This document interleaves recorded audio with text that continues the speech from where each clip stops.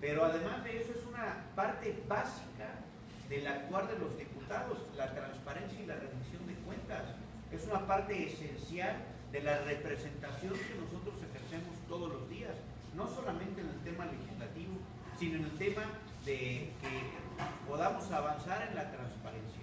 Nosotros somos responsables de cuestionar a los secretarios a nombre de los ciudadanos y decir que no lo vamos a hacer porque sirven como pasarela, pues no sé si sirvan como pasarelas o vayan a ser modelos o no sé qué nos vayan a enviar como secretarios, pero tienen que comparecer en el Congreso y responder las dudas de nosotros, que tenemos una delegación de, eh, democrática de los ciudadanos para cuestionar a todos y cada uno de los